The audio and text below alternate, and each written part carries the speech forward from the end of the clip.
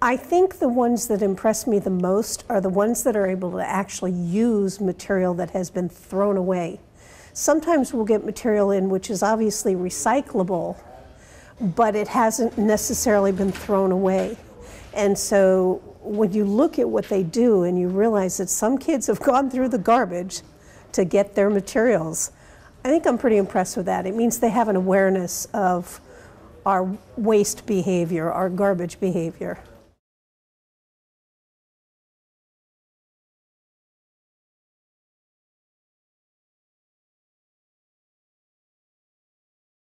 When I saw this, it was like, wow, these kids, when I read what it was, I think the kids did a fantastic, fantastic job.